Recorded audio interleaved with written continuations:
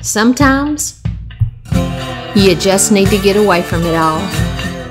To someplace beautiful, to someplace Western, where Americana values are still intact. Welcome to Osage